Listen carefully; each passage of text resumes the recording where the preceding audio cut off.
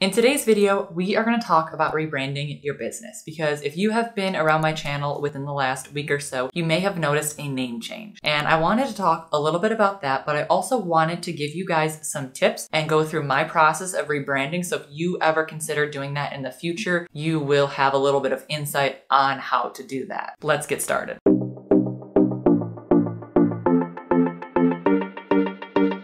So first of all, I wanted to talk a little bit about the name change on the channel. I wanted to let you guys know right off the bat that the content on the channel will not be changing. This name change is more of a personal change and it's more of a logistical change as well to make things a little bit easier for me. But if you're concerned about the content changing on the channel, that is not the case. I'm going to be uploading the exact same content that I was uploading under Business Women Thrive. So I just wanted to make that clear before we got into anything.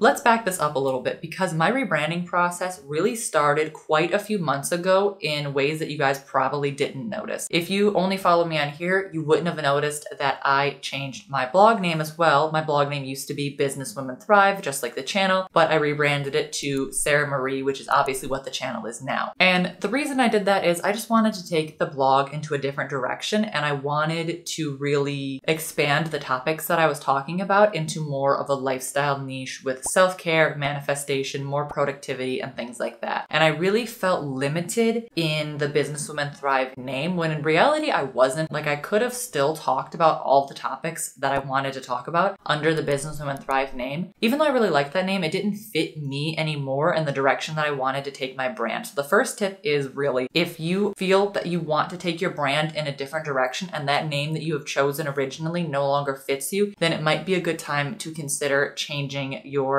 brand name. So for me personally, I knew that I wanted to be more of a lifestyle blogger. This is something that I've always really wanted, and I fought around with a lot of different decisions, including starting just an entirely new blog. So finally, I made the decision to change the blog name, and the YouTube channel followed a few months after. So let's talk about if you are looking to do that yourself, what you should be doing, and a few things that you may not have considered when it comes to rebranding your business. So the first thing is pretty obvious. You are going to have to change your domain name, which choosing a domain name could be pretty difficult if the ones that you want are already taken. I got my domain name from my hosting, which is SiteGround. You're also going to have to remember that that means that your links are going to change. When I talked with SiteGround, I made sure that all of my links would be redirected from Businesswoman Thrive to Sarah Marie, which is what you want to happen because otherwise you're going to lose a lot of work. So for example, all of the pins that I have pinned to Pinterest under Business Businesswoman Thrive are driving traffic to the new domain. They're just redirecting it to Sarah Marie. So that all those pins and promotion that I did over the years that are still driving me traffic are not just going to go to an error 404 page. They're actually going to go where they're supposed to go. I don't know if this is going to be the case with all domains. I assume that it would be, but I would talk to your hosting company to be sure because you really don't want to lose all of that hard work. You also have to remember that your followers are going to know you by your old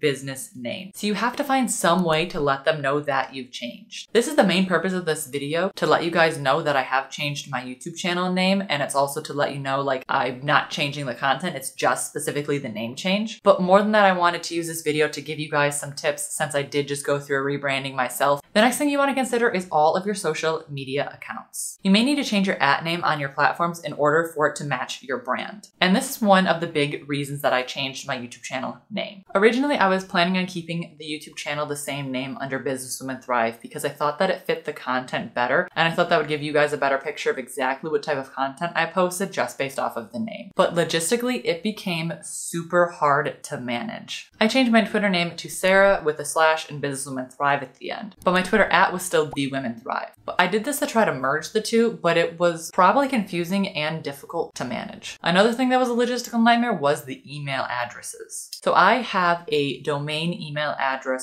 for Sarah Marie, which is sarah at sarahmarie.blog. I got this domain free through my SiteGround hosting, but the email that I prefer to use is the Gmail, which is my Businesswoman Thrive Gmail. However, once I had the blog under one name and the YouTube channel under the other, I didn't know what email to give to people. So if you're thinking of changing your name, this is something that you're gonna have to consider. It would make sense to have your brand have a brand email that matches so that people know that they are talking to the right person when you give it out to them and it's not confusing. I wanna next get into the mindset that goes behind changing your brand name. If you are considering changing your name and rebranding, how do you make that decision? For me, the decision really took forever because I still liked the name of Business Women Thrive, but I knew in my heart that it just wasn't where I wanted to take my business. So you want to think about the direction that your brand is going to go in when you are making this decision. If you are embarrassed about your blog name, it may be time to change it. I know for me, I absolutely hated telling people my blog name was. I hated giving out my social media handles. I don't know what it was. I was proud of the name and I was happy about it, but telling people in your real life what you do online and things like this, I'm sure you guys have experienced this as well, telling people that you're a blogger, that's kind of an uncomfortable conversation. Now, I would be very happy to tell somebody that my blog name is Sarah Marie because it it makes sense. It's my name. And if you want to be more of a lifestyle brand and have a brand that's more about your vibe and your personality, and your current name just doesn't fit that, it might be time to change your name. So you really want to think about the big vision for your brand and where you want to be in a few years from now. Because I know for me, I eventually would love to start a vlog channel and I already have the name picked out and it is not going to be Businesswoman Thrive Vlogs. Even if you don't make that change right now, you still want to be thinking of the bigger vision of what your blog and brand is going to be online. Changing your brand name is a really big decision and I highly recommend that you consider your decision before changing it because there is a lot of things that are going to go into that before you actually make that change. And truthfully, you'll go through many, many small